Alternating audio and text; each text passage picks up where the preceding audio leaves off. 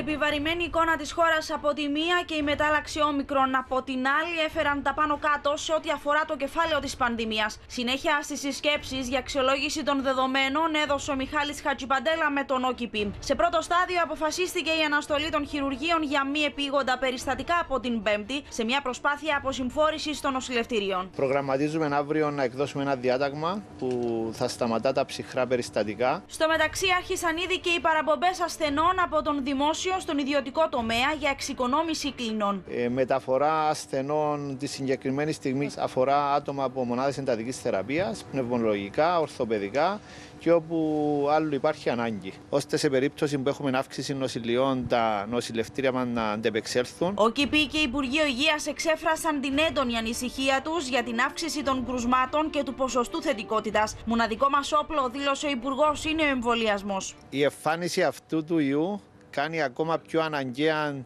την τρίτη δόση γιατί όλες οι συνομιλίες που έχουμε κάνει με ειδικούς τόσο στην Κύπρο όσο και στο εξωτερικό είναι εμφανέστατο ότι ε, το εμβόλιο θα προσφέρουσει μια σημαντική προστασία.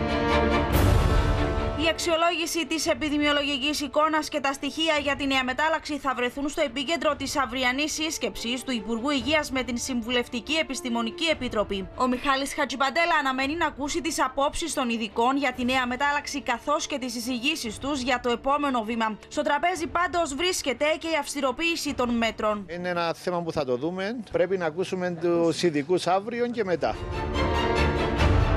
Όσο για τους 11 Κύπριους που έφτασαν από την Νότιο Αφρική και βρίσκονται σε καραντίνα, είναι όλοι αρνητικοί στον ιό, ωστόσο θα υποβληθούν σε επαναληπτική εξέταση PCR, ενώ υποχρεωτικός παραμένει ο περιορισμός τους σε ξενοδοχείο για τις επόμενες 10 ημέρες.